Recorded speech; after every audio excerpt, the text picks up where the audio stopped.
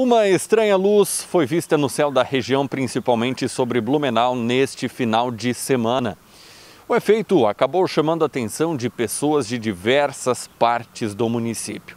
No vídeo é possível ver uma luz misteriosa aparecer e, em seguida, de forma muito rápida, separa e desaparece.